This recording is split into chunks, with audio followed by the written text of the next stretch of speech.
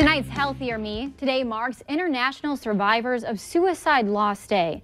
Across the country, Survivors Day is a day when people affected by suicide loss can gather at events in their communities to seek comfort and look for understanding. The nonprofit group To Write Love on Her Arms says the suicide rate in the United States has risen 25% in the last 20 years.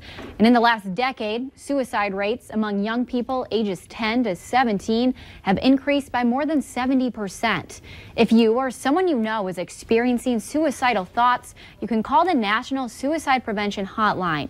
That number is up on your screen right now. It's 1 800 273 8255. And joining us now for sports is Alex. And how about them Bison? Yeah, Bison going for a perfect regular season. We'll mm -hmm. tell you all about it next in sports.